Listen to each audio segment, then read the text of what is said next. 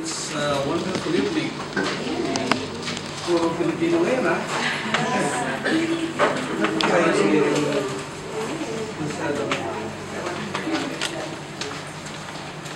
Ilang mga Africans ngayon, ha? Ah,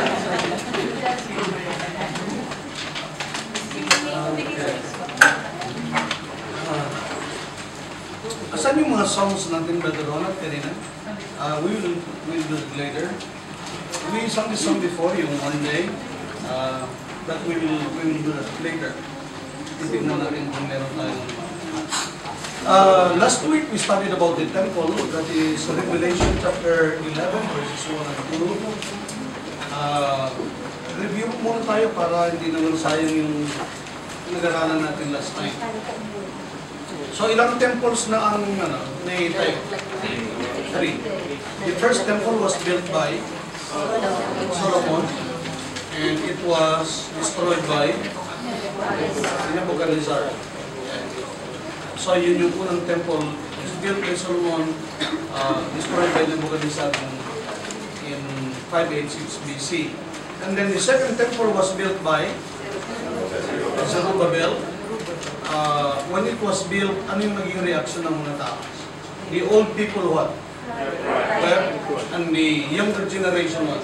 Rejoice is because hindi na ganun kaganda, hindi na nila nakita. They were, they were rejoicing because they have the temple again, and it's nice, but it was not as nice, it was not as elegant as uh, yung, yung unang temple. Yung, yung unang temple was built for how long? Hmm? Sige. Seven years. And when it was time to offer it, they offered how many 22,000 how many ships? 420,000. How many oxen? 20,000. So, so it, the second temple was built by by Zerubbabel. After the after the what? After after the Babylonian captivity, and the temple was destroyed by who? By. The temple during the time of the Lord Jesus Christ was the temple that was built by Hero. And it was destroyed by Titus in, in 70 AD. Okay. Is there going to be a fourth temple? Yes. Okay. Uh, who will who will assist the building of the fourth temple? The Antichrist. Siyempre, siyang maganda to get the sympathy of the Jews. And when will it be built? During the Tribulation. And we discuss about yung Dome of the Rock na sinasabi nila na doon na tayo sa mismong templo. But uh, sa recent na mga discoveries, uh, it was adjacent to it. Talagang hindi inalaw ng Panginoon na yung site kung saan nakatayo yung unang temple ay doon may tayo yung kanilang temple. So, pwede nang magtayo ng temple doon sa original site without destroying this. So we are just waiting for somebody who will arrange, uh, who will make the arrangement for the temple to be built sa original site without destroying this one. And that figure will be certainly the Antichrist. Well, uh, you probably noticed sa mga post sa Facebook ni nitong nakaraan, uh, I really did not have much time to, ano, may nakikita akong mga mga nakapost regarding sa mga vlog mo. Okay? It's uh, place yesterday. And I just want to mention a little bit, although we already discussed this last time, uh, just a few things about this. Look at your Bible in the book of Joel. This is just uh, to comment on the observations regarding this. In Joel chapter 2, verses 13 to 31, the Bible says this, And I will show wonders in the heavens and in the earth, blood and fire and pillars of smoke. The sun shall be turned into darkness, and the moon into blood before the great and dreadful and terrible day of the Lord. Turn also to Acts chapter 2, Acts chapter 2, and verses 19 and 20. And I will show wonders in heaven above, and signs in earth beneath. So, that means na kung babasahin mo kasi sa Genesis, God created, di ba, the sun, and God made the stars also, di ba? And here, sinasabi ng Panginoon na, I will show wonders in heaven above. It seems like God is communicating with man through, uh, through may the stars, may mga, ano siya. I will show wonders in heaven above, and signs in the earth beneath, blood and fire, and vapor of smoke. And the sun shall be turned into darkness, and the moon into blood, before the great and noble day of the Lord come. Another verse is in Luke chapter 21. Luke chapter 21. Uh, kung ano yung mga clear na message from the Bible, we we, in that. Pero may mga ibang observation lang. Observation, that's an observation. Whatever is in the Bible, that is already uh, creed. Uh, we believe anything the Bible says. Uh, Luke 21, verse 25, the Bible says, And there shall be signs in the sun, and in the moon, and in the stars, and upon the earth, distress of nation with perplexity, the sea and the waves roaring. So yung mga nangyayaring mga ganyan, may mga mensahe ang Panginoon dyan. So, uh, yung solar eclipse, uh, yun yung nag-focus ng, ano di ba? Ng, uh, yung blood moon. Ang apat na successive na blood moon is called tetrad. Very rare ang occurrence ng na ganyan. In fact, uh, within the last 2000, ano na tayo ngayon, 2016, uh, nagkaroon lang ng 55 tetrads. Okay. Uh, tetrad. And then, in the last 500 years, tatlo lang yan. Three tetrads. Yung, yung four na successive na blood moon. And then, ang, ang observation nila, ito observation, to wala sa Bible. Ang observation nila na kapag ang tetrad ay nag-coincide sa Jewish festival. Kasi may mga feast ng mga Jews. Gusto ko pa rin series yan, hindi pa tayo mistilig doon sa hotel tulad. Yung mga ah, mga Hanukkah, ano ba yan, yung pag-celebrate nila ng 8th day ng and other feast ng mga Jews. Feast of the Tabernacles, for example, we'll explain those later on. Kapag yung tetrad ay nag-coincide sa Jewish festival, ang observation nila is, there is always may nangyayari sa Israel that change the history of the world. Na it affects the, the whole world. It could be summed up with two words, the tragedy and triumph. Okay? A tragedy will take place sa Israel and it will be followed by triumph. Halimbawa, yung unang tragedy within the last 500 years uh, until now is yung nangyari in 1492 during the Spanish Inquisition. Uh, and uh, they were forced to leave, only Jews were forced to leave Spain. And if they do not check, if they do not convert into in, into Catholicism, and so 50,000 of them converted to Catholicism, but they will still murdered later on kasi parang they were accused na hindi sila sincere doon sa decision nila. Uh, nagpa-convert lang sila para lang hindi sila ma- ma-expel doon. But uh, it was also during the time when Christopher Columbus dis- uh, discovered America and it became the new home of of the Jews. So yun yung triumph nila. Another na, na tragedy took place in 1948 and 1947 and we know that the Holocaust and where Hitler murdered how many Jews? Over 6 million Jews. Okay? But the following year, uh, Israel became a nation.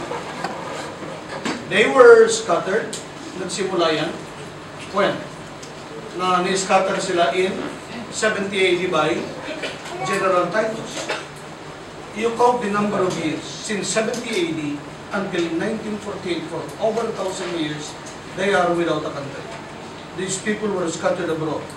But as a result of that, they were declared as a nation in May 14 of 1948. So, yun yung tragedy nila. Uh, over 6 million Jews were butchered, and uh, but the the triumph was they became a nation. In 1967, alam natin yung Six-Day War. Uh, they were attacked by neighboring mga Arab countries. ah. Uh, but they won the war. And yung area ng Israel na dati ay, kasi Israel lang yan. eh. If, kung na-remember nyo sa Old Testament time, nasa, na, na-divide ang Israel into two. You have the northern kingdom and the southern kingdom. The north is Israel, the south is Judah. Kaya unang nakapture yung northern kingdom by the Assyrians in 720 uh, BC. So, uh, but during, after the Six Day War, uh, naging malapad yung naging territory ng Israel. Nagka-gain sila ng bagong territory.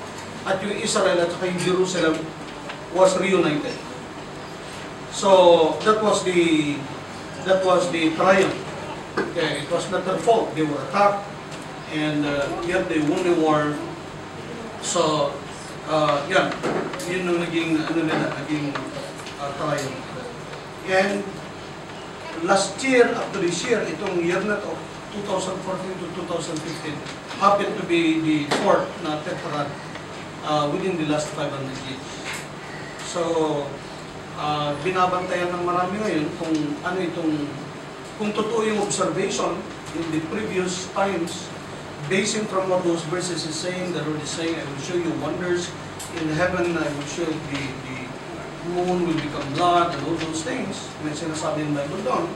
And then yung observation, sa mga nangyari in the past, with Israel is uh, uh, may nangyaring very significant.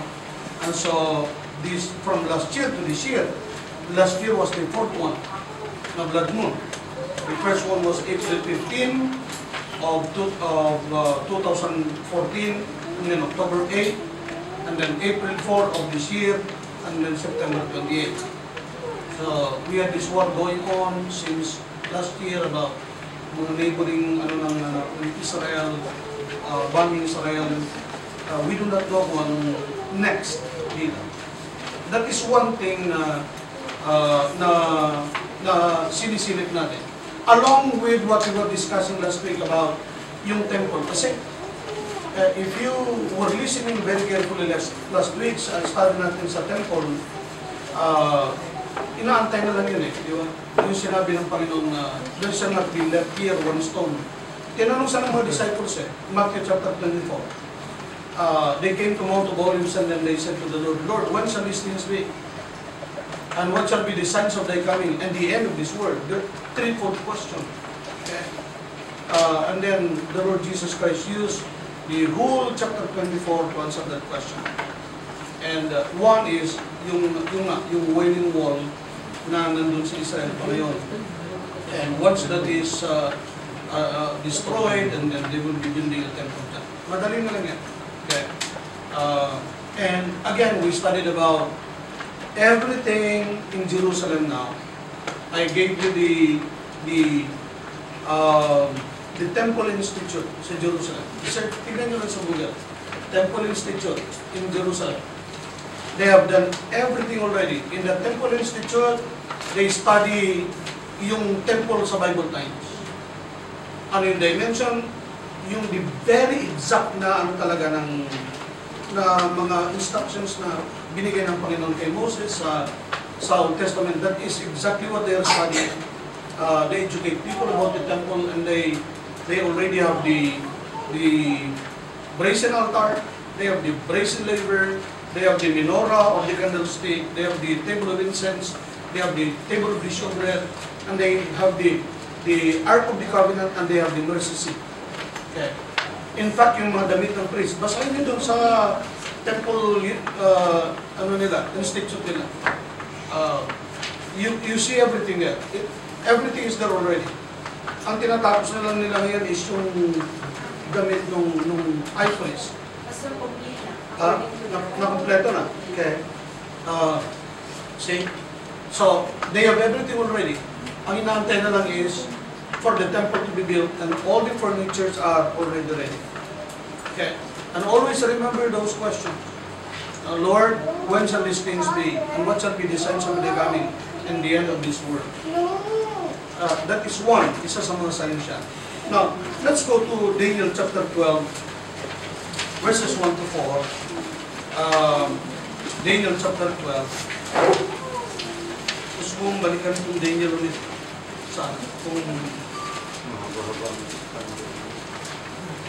Daniel chapter 12. Verses 1 to 4. I hope you did some study regarding this. Ang sabi dito, many of, uh, sorry, and at that time shall Michael stand up, the great prince which standeth for the children of thy people. He is the archangel of God. And there shall be a time of trouble.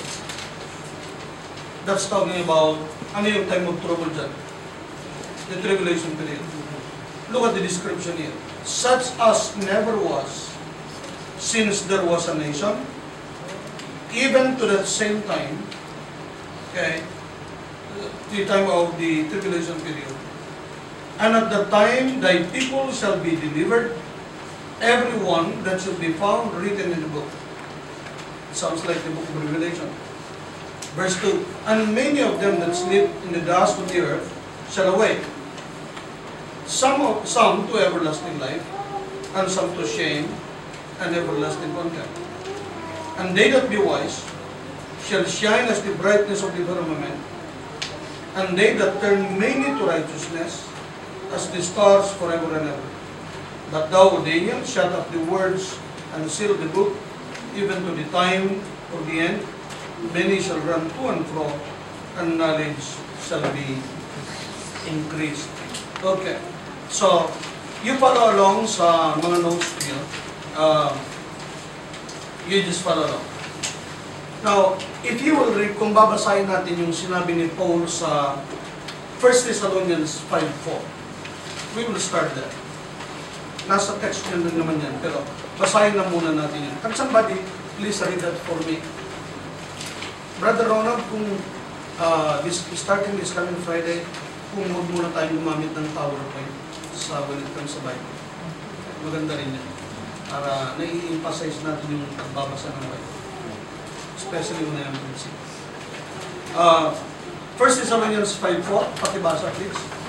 First Thessalonians 5:4. But ye, brethren, are not in darkness, that the day, that, that Okay, let me stop you there for a while. Ano sabi niya dyan?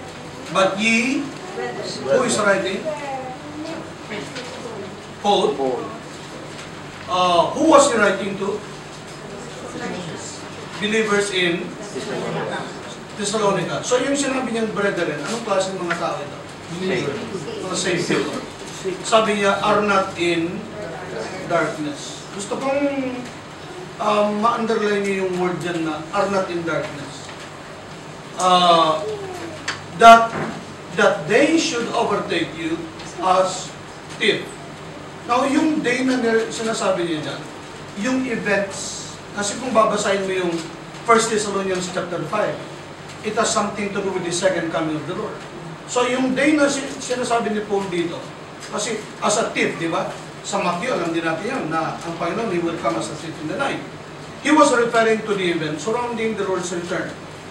Okay. Ang ibig kong sabihin dyan, na pag sinabi niya na we are not in darkness, that means we have been given light.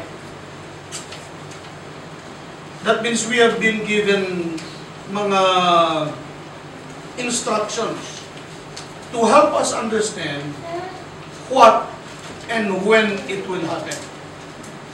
Kaya tayong mga mananampalataya, ah, we, we know these things. Yung mga nakikita natin, Iran, halimbawa they are building this nuclear, that's, we know, we know what's going to happen. If we know our Bible. Amos chapter 3 and verse number, what is that? Verse 7? Is it verse 7 or 17? Can somebody please read that verse for me, please? Amos chapter 3, verse number 7. Go ahead, yes. Amos 3:7. Surely the Lord God will do nothing, but revealed His secret So hindi na sikreto sa atin yan eh. Nireveal na ng Panginoon through His prophets. So, the light that's been, that has been given is the many prophecies we have throughout the Bible. Now that tells us about the end time. Certainly, hindi naman lahat sinabi ng Panginoon sa atin. God has not told us everything. Ah, otherwise, malaki yung bibititin natin na Bible pagpunta ng church. Ah, hindi lahat sinabi ng Panginoon, but He has revealed enough so that we are not in darkness. Para alam lang natin yung mga dapat natin malaman. God has given us enough information to enable us, you read the information, to enable us to know how things will happen. Ano paano, ah, kailan mangyari yan. Hindi man natin malaman exactly na ganitong date and we should never set date. Pero alam na natin, sabi na ng Panginoon, know ye that it is nigh. It is even at the doors. Okay, Luke 21 verse 28 yung sinabi ko na verse. And when these things begin to come to pass, then look up and lift your heads for your redemption what? Again, the word redemption, although it could be talking about our salvation sa ng ating soul, but when the Bible uses the word redemption, it's talking about the time or the event when the Lord Jesus Christ comes to take us. Kasi ngayon we are saved. But do you still suffer? Our soul is saved, but our body is not saved yet. Okay.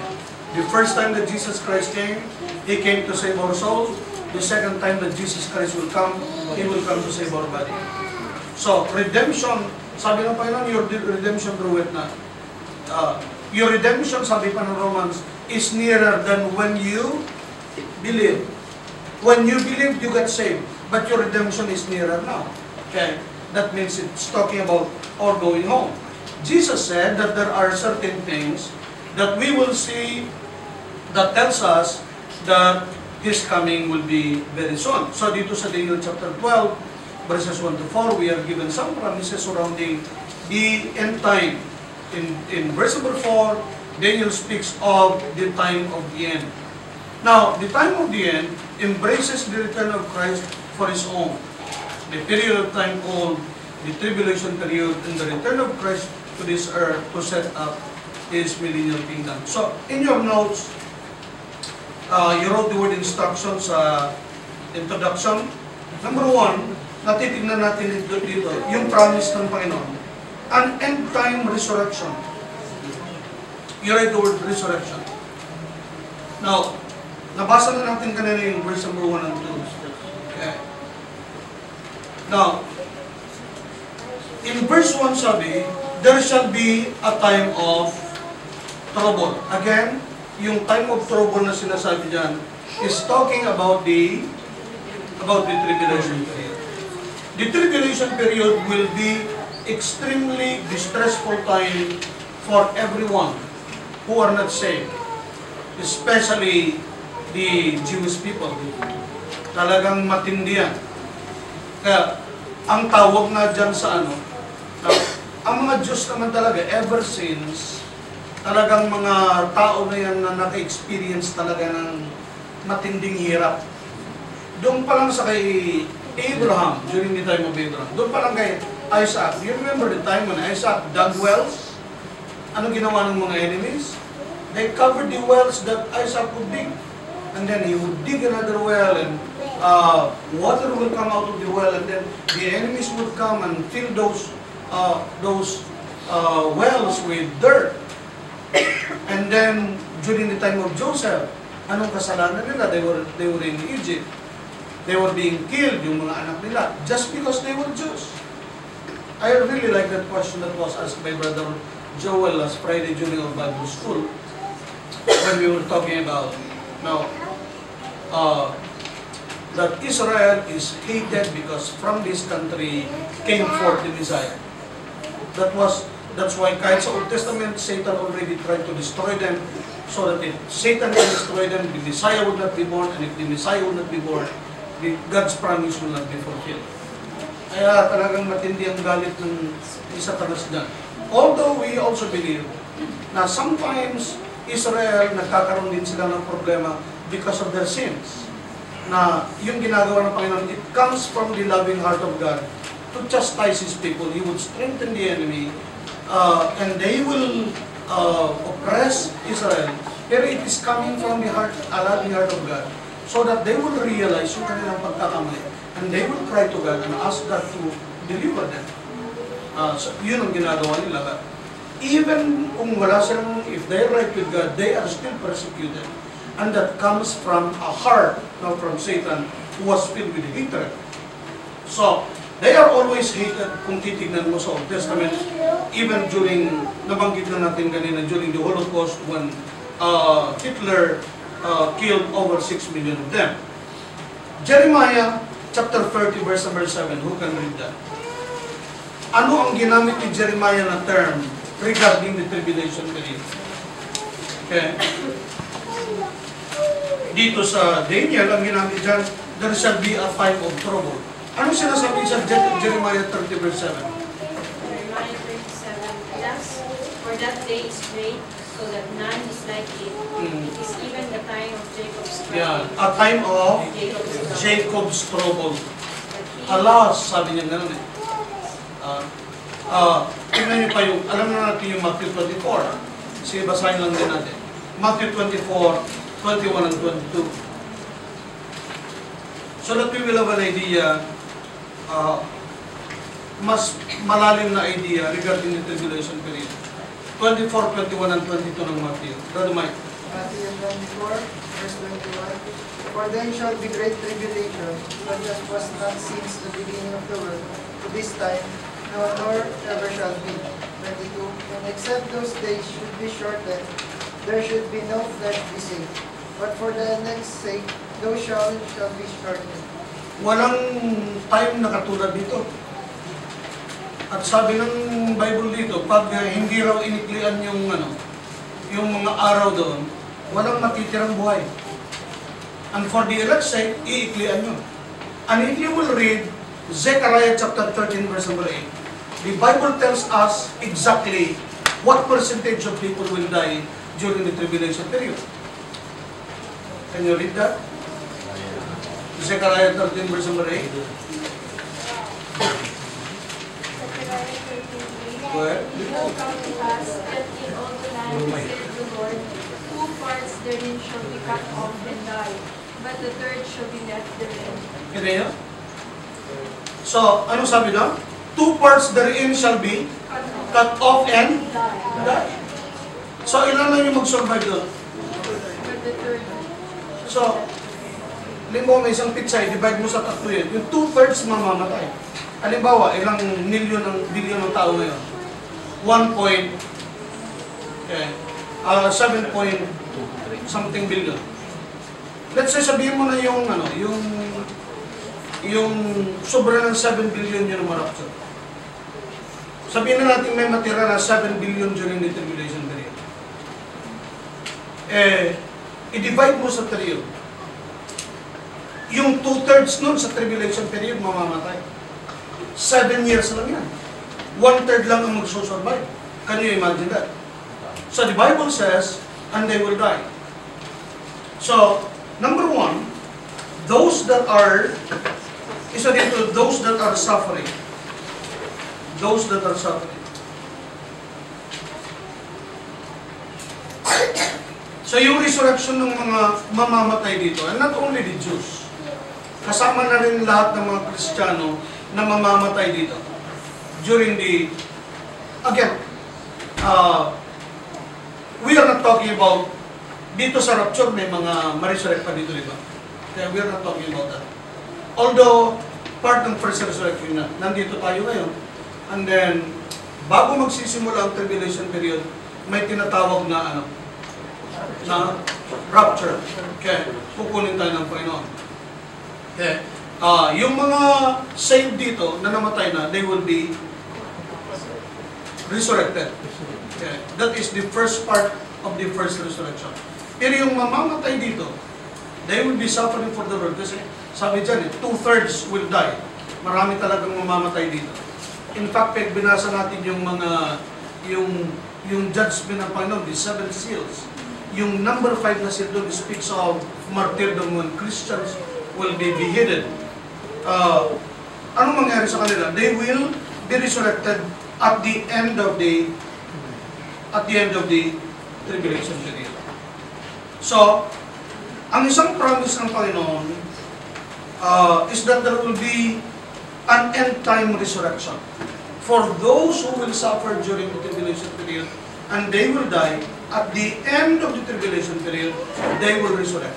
Pakibasa yung Revelation 20, verse 4.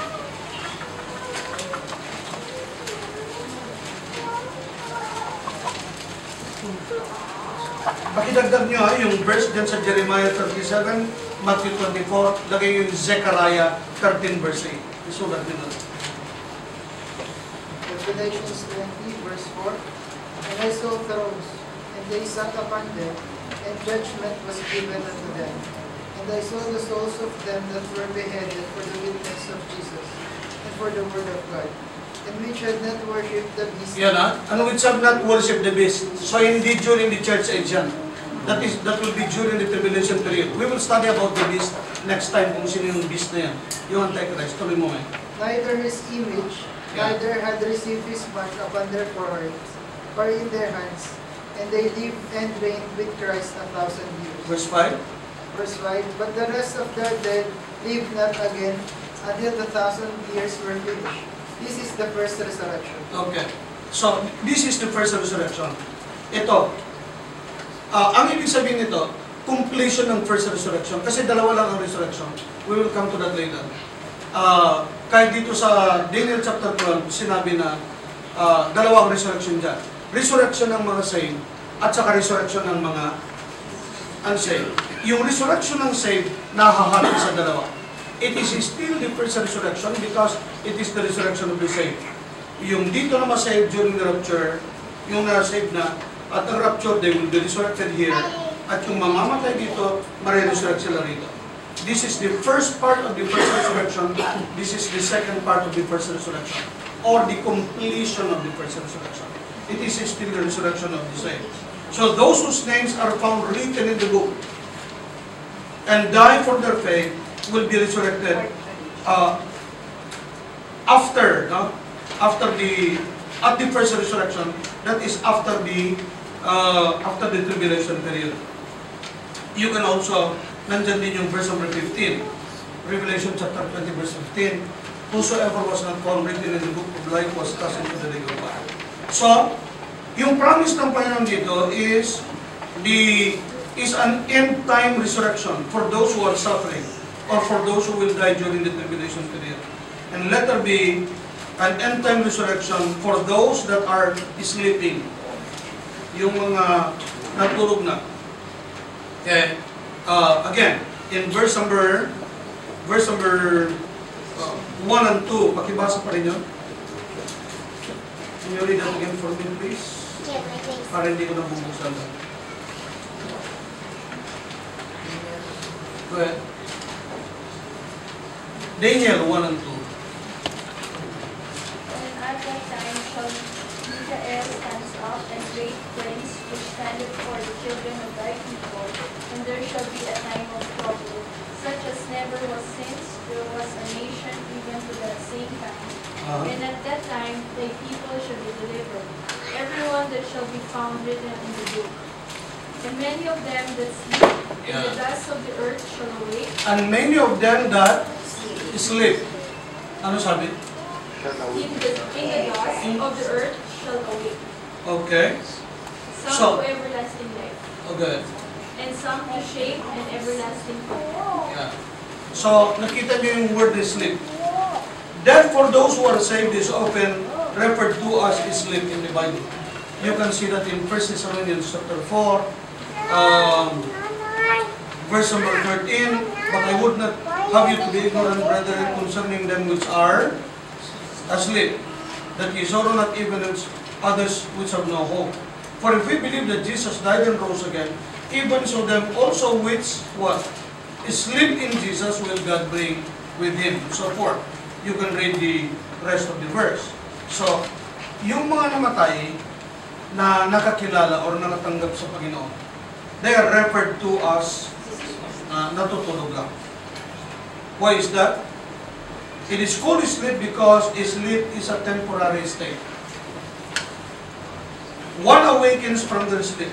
This awakening is a resurrection from the dead. Ito yung sinasabi dun sa 1 Thessalonians chapter 15 verse number 52. Uh, it's talking about the great mystery. Okay. Uh, can you read that? 1 Corinthians 15, 52. Ang babasahin nyo then we'll proceed to the second. First Corinthians chapter 15, verse 52. Go ahead. In a moment, Read it louder. In a moment, in the twinkling of an eye, at the last trump, for the trumpet shall sound, and the dead shall be raised incorruptible, and we shall be changed. Yeah. So, uh, this is talking about uh, those who are dead in Christ. Yung kanina, it's talking about yung resurrection ng mamamatay during the tribulation period. Ito yung mga mamamatay, those who are sleeping, those who are dead in Christ. You know somebody like that. Na, uh, yung kapatid ni Brother Ian, uh, recently, uh, he went home to be with the Lord, along with his dad. Dad just is sleeping. Someday, uh, we will see them here. Amen. When I'm invited to preach sa mga funeral service, sometimes the title of the message is, Mike is dead, but he is not really dead. Yeah. Uh, because the says they are just. Whoever did it. This is sad. Huwag kang magkakaroon. You are saved. Nothing more. Minsan di ko alam kung natutulog ka na o patay ka na. okay. Number two, uh, we have the promise. Yung pangalawang promise dito is the promise of an end time reward. The promise of an end time reward. Okay. Balikan natin yung uh, yung Daniel. Lamentation is killed Daniel. Okay. Now, Look at verse number 3 now. I want you to look at verse number 3. Yung unang study natin is verses 1 and 2. Verse 3 says, And they shall that be wise shall shine as the brightness of the firmament. And they that turn many to righteousness, ano dyan? Sa sabi? As the stars, okay, as the stars forever and ever. So, now, uh, number one is reward for the wise ones. May reward ang Panginoon. Kindly read Revelation chapter 22 verse 12. Revelation chapter 22 verse number 12.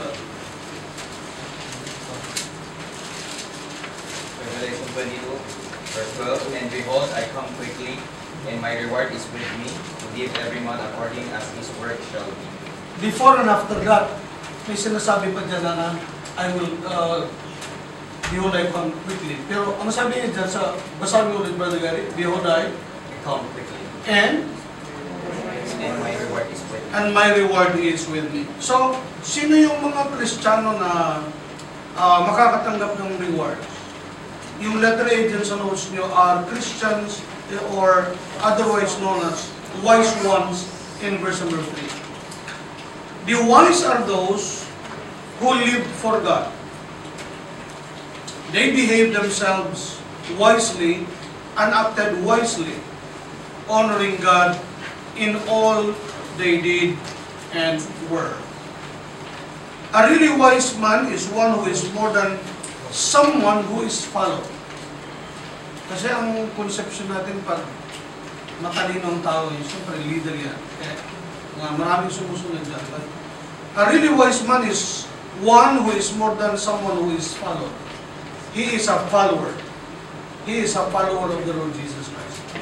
Magandang basahin niyo minsan sa Proverbs ba? Magandang mabasa natin yung Proverbs. Pag binabasa niyo yung Proverbs, paki-observe niyo yung tatlong klase ng tao dyan. Wise, palaging binabanggit yan. Meron din fools, palaging binabanggit yan. Meron din mga simple ones. Uh, very interesting study. simple ones. Ah, yung taong walang alam at wala hindi niya alam na wala avoid him. Wala siyang alam tapos hindi niya alam na wala siyang alam. Iwasan niyo. Pero yung taong wala siyang alam, pero alam niya na wala siyang alam, simple yun. That means, depende kung sino maging... Ang simple kasi na tao na nakalagay sa Proverbs siya, depende yan kung sinong kung sino mag-influence na niya. As simple is a good person. Pero kapag yan ay na-influence ng fool, he will become fool. Pero kapag yan ay na-influence ng wise, he will become wise. A simple person is a person who knows not, but knows that he knows not. Keeps him, because he will be wise. A person who is wise, of course, is a person who knows, and he knows that he knows. Okay? So, the wise ones, yung mga tao na, yung mga Kristiyano who live for God, yung mga tao na they behave, themselves wisely. They acted wisely. They honor God with their life. Hindi lahat ng Kristiyano ito. Ilang percentage kaya ng Kristiyano ito? Uh, letter B, not only for the wise ones, but also for the working ones. For the working ones. Kasi sabi dito, And they shall be wise, shall shine as the brightness of the firmament. Ito yung reward nila. And they that turn many to righteousness as the stars forever and ever. So these are the ones who are uh, who are working. Sabi niya rito, uh, and they that turn many to righteousness. What do you think is that?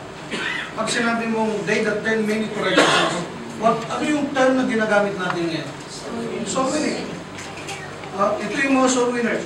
There are those who lead others to Christ, which is the greatest work that anyone could be involved in. Uh, they work to help turn others to righteousness. Of course, teamwork ito eh. Teamwork. Ang soul winning is a teamwork. When you want somebody to the Lord, uh, do not get all the credit. Halimbawa, may na-soul winning sa church. Hindi naman ikaw nagdala nun. Okay.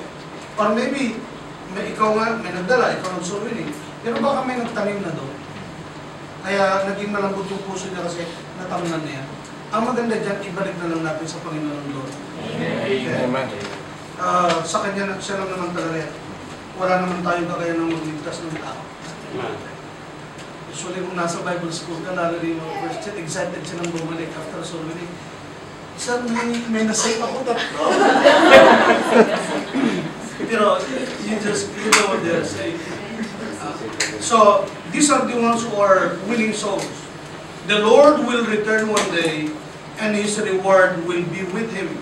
Yung binasa natin kanina. One of His rewards will be for those who have worked to win others to Christ. Kaya nga, yung crowns, isa doon, anong tawag? Anong tawag doon sa soul winner's crown? The crown of? Hindi.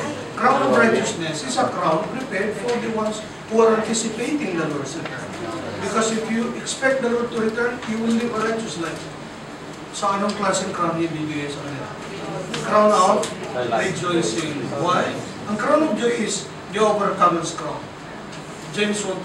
Batas mo, ano yun? Ah, Batas minas received. Blessed is the man that endure, sasabas na yan, that endure temptation, for when he is tried, he shall receive the crown of life. Ito yung crown of righteousness, a crown of rejoicing. Because the Bible says, uh, there is rejoicing in heaven over one soul that repented. So, they will be given a reward. Uh, pero isa sa mga reward talaga na na tinitignan mo sa Bible is, I really love the reward mentioned in Revelation chapter 22, verse 14. This is one of my favorite rewards. Do you know that verse in Ephesians na in the ages to come, the Bible says, na talaga it will take you eternity to to understand God. Pag nasa langit na tayo, what makes heaven exciting? It's not really the streets of gold. Hindi yung beautiful building. Magsasawa ko doon eh. The thing or uh, yung talagang magbibigay sa atin ng joy in heaven is no other than God Himself. Because every time you see Him, you, you will see something, you will learn something that you've never seen before. It's always like, wow. Uh, in the ages to come, the Bible says, uh, in the book of Ephesians. But look at this, Revelation chapter 22, verse number 14. Ano sabi dyan? Blessed are they that what? I-underline nyo. Please under, underline the small word na, ano. Do. That's an action, that's a verb. Okay? Action word. Blessed are they that do His commandments, yung mga utos ng Panginoon. Why? That they may have their, the right to the tree of life. And that they may enter into the, into the, through the gate, into the city. Gates, plural yan. We hear of the tree of life, and heaven is a big place.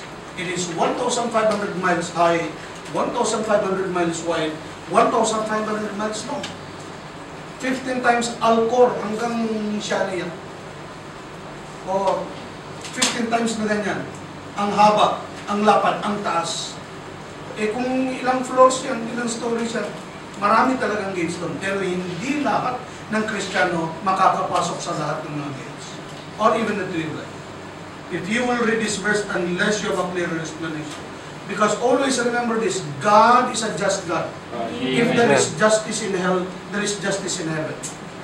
Ah, hindi naman yata fair na ang isang preacher na mula nung ano, nag-preach hanggang namatay na lang, nagka-pre-preach pagkatapos nandun siya, and then yung isang backslider na Kristiyano, eh, nandun din, din pareho lang sila for all of eternity. God is a just God. Okay? And this is a very clear verse na, kaya blessed are they. The word blessed means Beatitudes. What is the word blessed means? You know the word. Kung posibleng hindi. The word blessed means happy. Happy. Yes, blessed. Sabi ko nga, alam mo eh, kaso nagkala na din yung banggitin eh. Blessed are they that do His commandments. See that? That hindi kaligtasan pinag-uusapan ito. That they may have the right to the tree of life. Meron kang karapatan na lumapit dun sa tree of life. If you are disobedient, I'm telling you, hindi ka pwedeng lumapit dito. And that they may enter into, in, through the gates into the city. Meron kang mapapasukan, pero talagang merong mga gates doon. Now, I don't know how it's done, but uh, again, uh, what else? Ano pang ibig sabihin ng verse na yun? But kung papapusugin sila ng Panginoon, it's up to Him. Gusto ko lang makasiguro. so there will be a reward. So we have the promise of an end-time reward. An end-time resurrection for those who are sleeping. Yung mga namatay ngayon, they are sleeping with Christ. During the rapture, they will be resurrected. And for those who will suffer during the tribulation period, dapat binaliktad ko yan. Kasi yung arrangement dun sa verse 1 and 2, ganun. Ay yung mamatay, magsasuffer sila sa tribulation period. And according to Zechariah chapter 3 verse 8, they will be resurrected at the end of the tribulation period. And there is a promise of an end-time reward. Reward for those who are wise, for those who live for God, for those who behave themselves, for those who dedicated their life to the Lord, who honored the Lord with their life, who followed the Lord, and for those who are working, who are working to help others get saved, directly or indirectly. You gave to mission so that those people will be saved. May part ka dyan. Okay? Everybody, kung may ginawa that led music, for example, that prepared the heart of those people for the gospel, may kinalaman.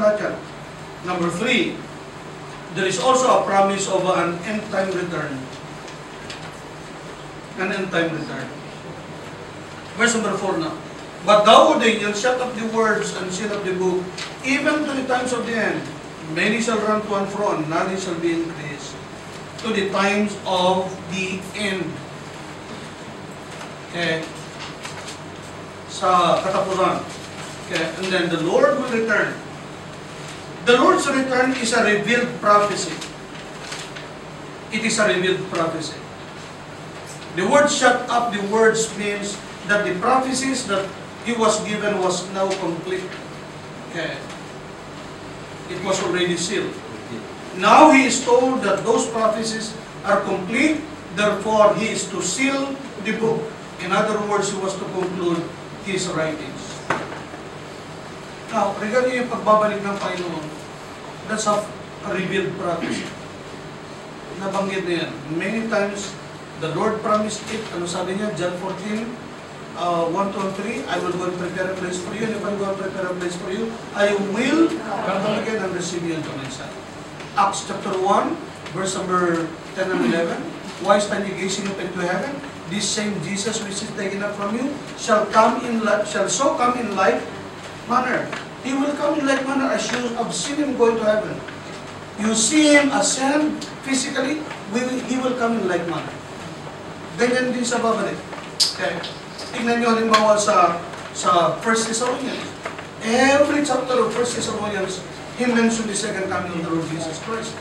What am I saying? It is a revealed prophecy. 1 Thessalonians chapter 1. 1 Thessalonians chapter 1. Okay, verse number 10. And to wait for His Son from heaven. What does that mean? Jesus Christ is coming back. Chapter 2. Tingnan niyo sa chapter 2. Verse number 19. For what is our hope or joy or crown of rejoicing? Are not even ye in the presence of our Lord Jesus Christ at His coming? Chapter 3. Verse number 13. To the may establish your hearts unblameable in holiness before God, even our Father, at the coming of our Lord Jesus Christ with all His saints. Chapter 4. Nabasa na natin kanina mula sa 13 hanggang 18. He's talking about the coming of the Lord. Let's read verse 16. For the Lord himself shall descend from heaven with a shout, with the voice of the angel, and with the trump of God, and the dead in Christ shall rise first. Sa chapter 5, verse number 23, And the very God of peace sanctify you wholly, and I pray God, your Holy Spirit and soul, and body be preserved blameless unto the coming of our Lord Jesus Christ. Revelation is that He will come. So it is a revealed prophecy. Kaya yung sinasabi kanina na, we are no longer in darkness.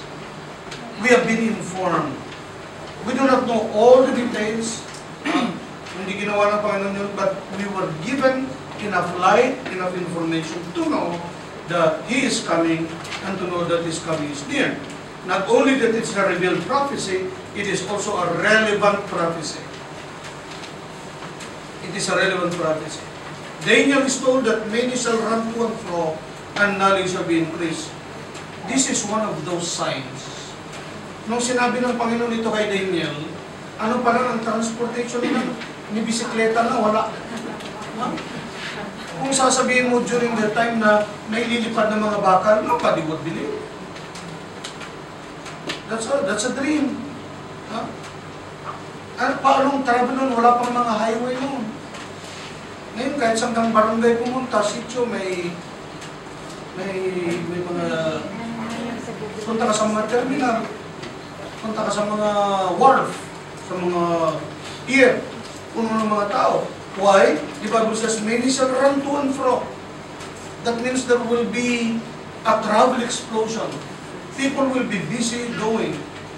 Alis ka sa Pilipinas, mag-breakfast ka, mag-lunch ka, nasa China ka, or nasa Hong Kong ka, or then mag-dinner ka sa and then lipat ka punta, doon ka mag-lunch na. Balik ka sa Pilipinas. You can travel the globe, I think, for yung fastest na aircraft for 13 hours. Uh, some can even ride quicker with a broom. Those that are from Antique, no? one, two, three. so, uh, so there will be uh, a travel explosion and a knowledge explosion. Many shall run to and fro, and knowledge shall be increased. It's unbelievable kung titignan mo ang wisdom ng tao yun. Nasa ambulansya pa lang, nagpiparabrow na sila ng surgery. Ooperahan ka, they don't even have to cut you anymore. Yung mga medicines, yung mga weapons, yung mga sobrang talino na ng tao. May kinonfirm na nga sila na may tubig sa Mars. Hmm, Bigyan na natin sa China yun.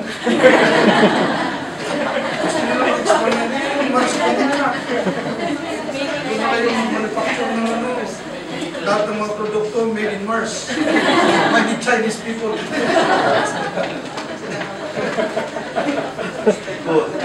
What are we saying? Knowledge explosion kahit yung mga... Imagine yung isang maliit na gamit na yan? Kung nai-store dyan, na memory, lahat ng information, knowledge and increase. Di ba yung mga time natin, no? Ay. Di ba? Oo. Amen. Dati, di ba kayo nag-communicate kayo? Dati kung pag nag-abroad, yung mga voice tape, voice tape pa. Pagdala ng voice tape, re-record. Pagdating, o pakikingin din yung voice tape, voice tape siya. Kung meron padala, ganun na. Ganun yung style mo, di ba, sister Lo? Oo. Ganun yung sister Lo yan eh. Wala pa kaming kamalay-malay nun. Kayo. Di ba? Telegram. Telegram Telegram, telegram, telegram. Tapos magtitipid ka pa kasi per letter yan. One one week talaga. ah, one week padala ka ng, ng telegram mo. One week may reply. Eh ngayon, ilang seconds na. Oo, nandun na. Paradigm change. The Lord will return just as He promised. Katulad ng sinabi ng Panginoon, if I go prepare a place for you, I will come again and receive you to myself. That where I am, there you may be also. So, one day the trumpet will sound for His coming. One day the skies with His glory will shine. Wonderful day, my beloved ones are ringing. Glorious Savior, this Jesus is mine. That is actually a song.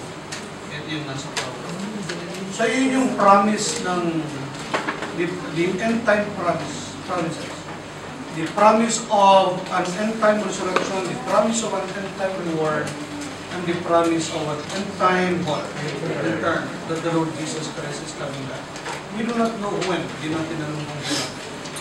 Uh,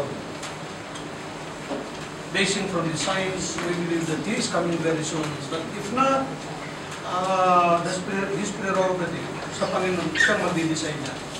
Let us just be faithful when we are here. But I really don't believe that it will take longer. God destroyed uh, the people during Noah's day because of their wickedness. And God destroyed Sodom and Gomorrah because of their wickedness. And if you will compare the wickedness of Noah's day and Lot's day to our day, it will not compare. I heard a preacher who said, if God doesn't come very soon and judge the world, He owes an explanation to Sodom and Gomorrah. Bakit niya siniri yung Sodom and Gomorrah? Dahil sa Manila, why not destroy the or judge the world today? Because there is more sin today than ever. So, Brother Alan, can you sing that song? Gusto mo mag-solo ba? Uh, I'll be gone for two Tuesdays.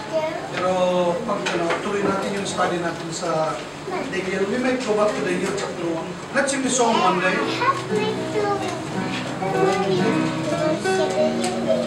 One day when heaven mga nakakalam na yun sa song.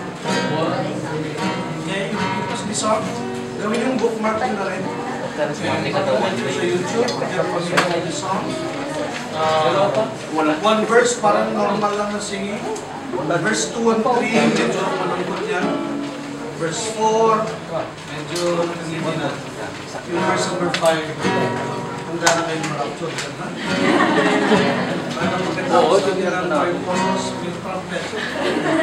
Brad, yung snacks, ang parang gagawin.